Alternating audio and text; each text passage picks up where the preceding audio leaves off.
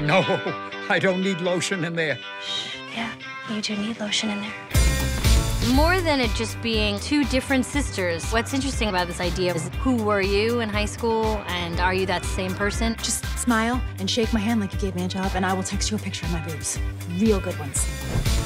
When you first meet them, they're both very stuck and just kind of looking for a change. Come to Orlando! Ellis Sisters Reunion. That's actually a really good idea. They're both coming back to the childhood home that they grew up in.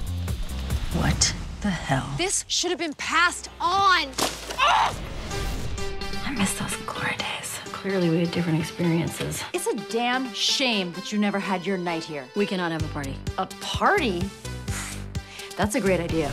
They decide that they should probably have one more high school style party in the empty house. And as the film progresses, they switch parts and reveal the other sides of themselves. Will you be the party mom tonight so I can let my freak flag fly?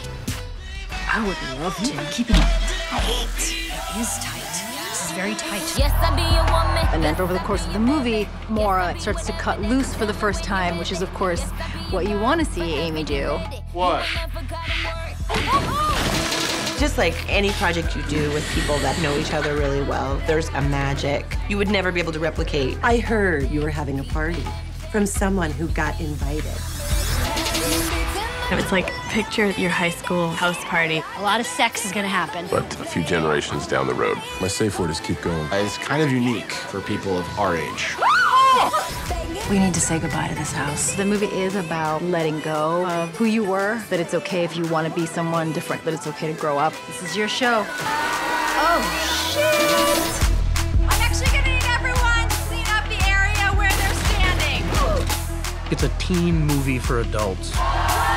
But also for teens, because teens have money too.